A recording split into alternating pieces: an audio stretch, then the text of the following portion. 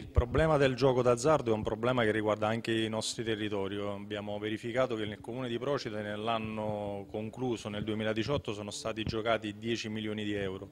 È un budget poi di tutti e 33 i comuni che arriva addirittura a più di un miliardo di euro, quindi sono, sono cifre sbalorditive. Dobbiamo fare qualcosa e bene ha fatto l'ASL a dare là per poter coordinare i comuni e fare un regolamento. Si parla di legge regionale, dopodiché ci saranno i regolamenti dei comuni ed è buona cosa se insieme lo elaboriamo e facciamo dei provvedimenti che siano uguali per tutti i comuni. Questo è un argomento insomma, che ehm, sta, ehm, si sta manifestando in tutta la sua drammaticità sulla nostra isola.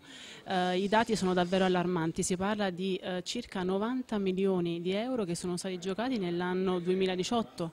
Per quanto riguarda il mio comune, il comune che rappresento, quello di Barano d'Ischia, parliamo di circa 5 milioni e mezzo di giocate nell'anno 2018, quindi è assolutamente ormai inevitabile intervenire, intervenire con un regolamento che sia unico, che venga approvato eh, da tutti i comuni isolani ehm, per evitare insomma, che i giocatori d'azzardo possano tranquillamente spostarsi da un comune eh, dove appunto il regolamento è vigente in un altro comune dove il regolamento non esiste e continuare a giocare liberamente. Direttore, l'ASL Napoli 2 Nord ha promosso un convegno eh, invitando tutti i sindaci del territorio di competenza per combattere il gioco d'azzardo, una piaga purtroppo diffusa.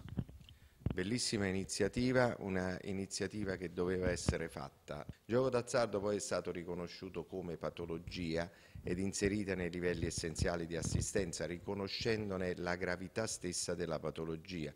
Eh, che ahimè in questo caso non interessa solo il paziente ma coinvolge tutta la sfera familiare e va anche oltre.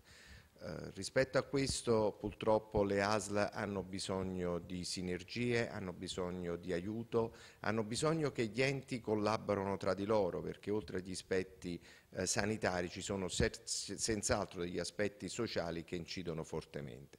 L'integrazione, il costituire una rete può, può, essere che ci aiuti a dare una risposta più qualificabile e più eh, quantificabile anche in termini di assistenza.